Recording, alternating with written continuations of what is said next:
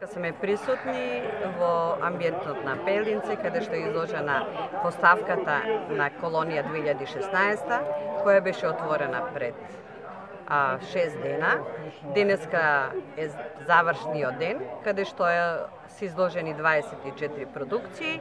Инако знаете дека ова ликовна колонија е во соработка со а, Музеот на Команово и општина Команово, така да што имавме гости од соседните држави, од Бугарија, од Србија и од и наши уметници и имаше значи плодна убава продукција, така да се надевам дека после 43 години, а 12 години се одвива значи ова изложба во Пелинце, ќе продолжи традицијата и понатаму.